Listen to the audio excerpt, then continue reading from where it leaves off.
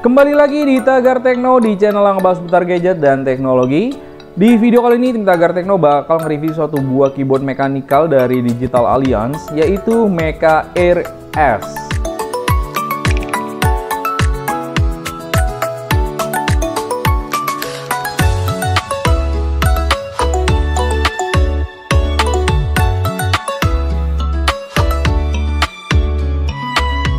Oke, yang pertama kita lihat dulu boxnya ini. Di bagian depan tertulis tulisan Mecha RS dengan beberapa fitur, di antaranya ada compact layout, 68 keys, terus ada 2 in 1 mode, ada dual tone keycaps combination dan ada removable switch.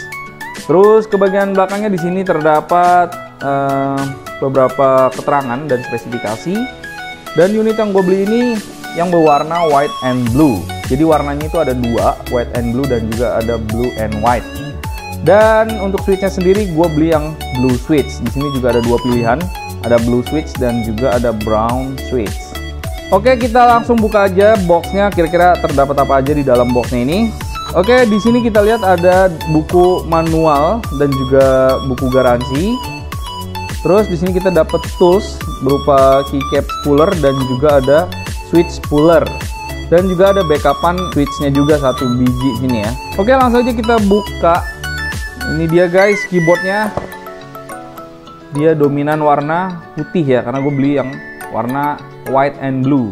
Jadi bagian putihnya itu ada di tengah dan warna biru ada di sebelah kanan dan kirinya. Oke untuk bobotnya sendiri ini lumayan berat sih ya. Terus build quality-nya juga lumayan terasa kokoh nih Terus untuk buttonnya ini menggunakan material bahan plastik ABS. Terus untuk top covernya ini, top cover tuh yang ada di dalam sini ya, di bawah tusnya ini, dia menggunakan bahan metal. Dan untuk cover belakang serta sampingnya ini menggunakan bahan dari plastik. Kita lihat ke bagian belakangnya. Di sini kita bisa lihat di sini ada slot untuk menaruh baterainya. Jadi baterainya menggunakan dua baterai triple A. Terus di sini juga ada tempat untuk dongle uh, bluetoothnya ya. Jadi ditaruh di belakang sini. Terus di bagian bawahnya ini terdapat switch on off. Jadi uh, keyboard ini bisa dihidupkan dimatikan melalui bagian bawah sini ya.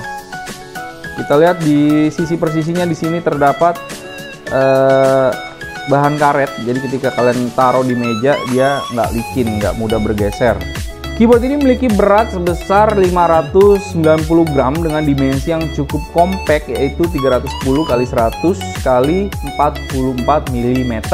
Keyboard ini juga sudah menggunakan keycap double injection sehingga tulisan pada keyboard tidak mudah pudar guys. Nah untuk jumlah tombolnya sendiri pada keyboard ini sebanyak 68 keys dengan dual tone keycaps combination. Nah sayangnya keyboard ini tuh belum memiliki backlight ya jadi dia polosan aja gini nih guys. Untuk koneksinya sendiri, keyboard ini sudah dilengkapi dengan wireless dan juga Bluetooth.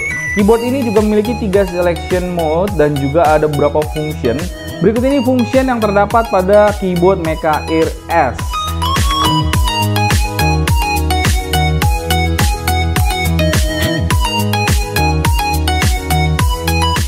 Ini suara keyboard yang renyahnya ya.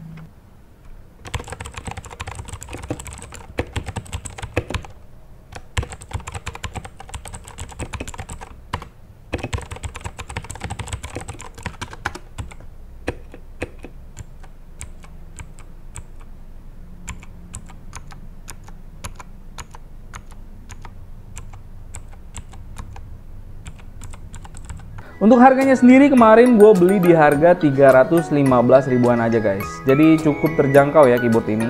Oke, sekian video review keyboard mechanical Mecha Air S kali ini. Jangan lupa like videonya dan juga jangan lupa subscribe channel kita jika konten-konten yang kita buat bermanfaat buat kalian semua.